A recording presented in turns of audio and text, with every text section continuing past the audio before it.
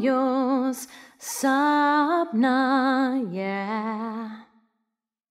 One happy birthday dot com.